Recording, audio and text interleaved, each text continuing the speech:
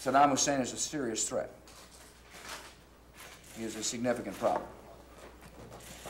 And it's something that uh, this country uh, must, uh, must deal with.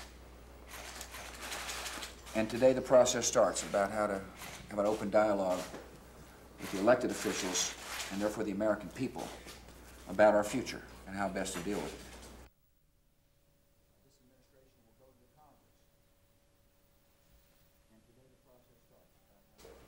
At the appropriate time, uh, this administration will go to the Congress to seek approval for uh, necessary to deal with the threat. At the same time, I will work with uh, our friends in the world. I've invited uh, Prime Minister Blair to come to Camp David on Saturday, and he'll, he's coming. Uh, I look forward to talking with him about our mutual concerns about how to make the world more secure and safe.